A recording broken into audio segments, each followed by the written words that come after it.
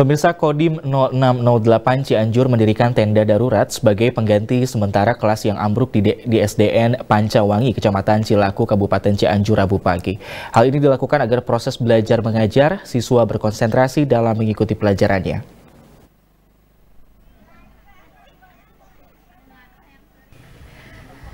Kodim 0608 Cianjur langsung membuatkan tenda darurat di SD Negeri Pancawangi, Kecamatan Cilaku, Kabupaten Cianjur, Rabu pagi.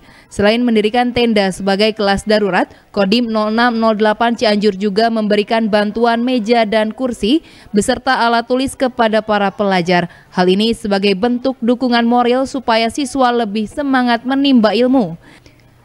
Selain melindungi dari terik matahari, tenda ini pun dilengkapi tutup yang bisa digulung pada bagian sampingnya, sehingga jika hujan turun, para pelajar aman di dalamnya tanpa terganggu.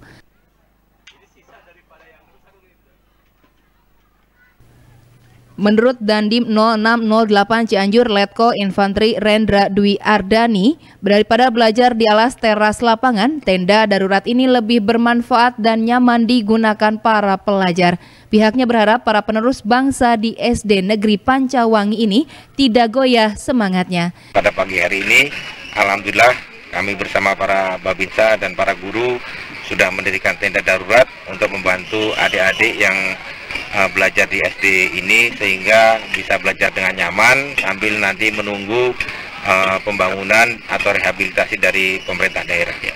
Rencananya tenda ini akan berdiri selama pengerjaan kelas baru dilakukan hingga selesai pembangunan ruang kelas. Sementara siswa mengaku merasa nyaman dan lebih konsentrasi saat kegiatan belajar. Para siswa juga berharap pembangunan ruang kelas secepatnya selesai agar kegiatan belajar mengajar bisa kembali normal. Di lapangan. Di lapangan. Pakai alas apa? Pakai itu itu karpet. Karpet. Hmm. Emang kenapa sih belajar di lapangan kemarin? Karena kalau belajar di di kelas, kalau itu apa tuh kalau lagi hujan atau ada angin kencang, takutnya runtuh. Oh, runtuh. Heri Setiawan, Bandung TV.